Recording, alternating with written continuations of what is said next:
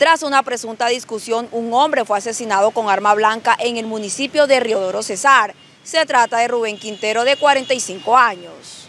El hecho ocurrió en plena vía pública del municipio. Según testigos, tras la víctima sostener una discusión con otro sujeto por el cobro de una carrera en vehículo particular. Rubén Quintero, de 45 años, tras el cruce de palabras, fue apuñalado en dos oportunidades hasta desplomarse en el suelo, siendo posteriormente trasladado a un centro asistencial donde falleció. El hoy fallecido era padre de tres hijos y natural de Otare, corregimiento de Ocaña, norte de Santander. Asimismo, se conoció que el agresor fue capturado y en las próximas horas será judicializado. La inspección técnica del cadáver fue adelantada por las autoridades correspondientes y llevado a la morgue para la necrosia de rigor.